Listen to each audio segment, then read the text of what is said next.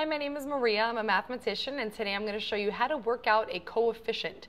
So a coefficient is just the number that is in front of a variable, and they're being multiplied. So if I have, for example, the term 5x, 5 is the coefficient, x is the variable, and they're being multiplied.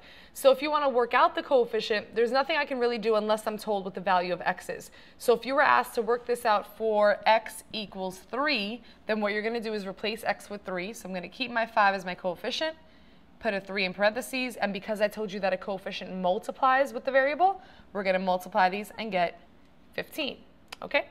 Um, if I had something a little more complicated like 6 x squared, and I was told that x was equal to 3. I'm going to write my coefficient. I'm going to replace x with 3 and keep the little square. And again, just work it out using my order of operations. So 3 squared is 9. I'm going to bring down my 6. I'm multiplying because I told you that a coefficient is being multiplied with the variable. And I do 6 times 9 is 54. My name is Marija, and I just showed you how to work out a coefficient.